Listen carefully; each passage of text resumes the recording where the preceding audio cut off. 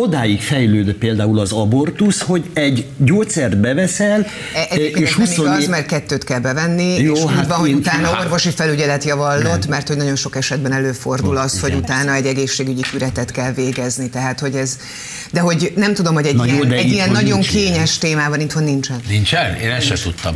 Hogy egy Halál. nagyon kényes témában vállaljátok a határozott álláspontotokat?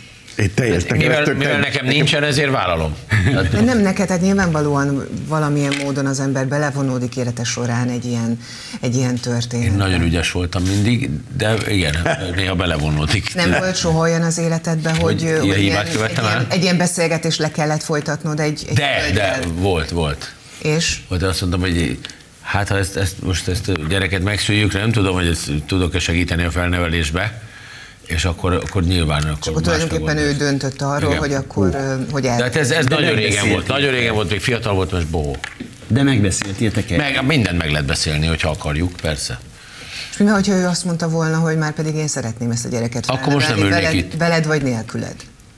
Ja? Tehát, hogy teljesen mindegy, mert hogy ő ezt a gyereket meg akarja Hát szülni. ez egyébként, ez, ez, ez, ez igazából a, a, mondjuk azt, hogy a nő döntése, nem? Ezt gondolom, hogy sokkal inkább a nő döntés. Így van, tehát Hát jó, nyilván van egy ilyen mondás, hogyha egy nő két, dolog, két dologért tesz meg mindent, ha nem akar gyereket, meg ha gyereket akar.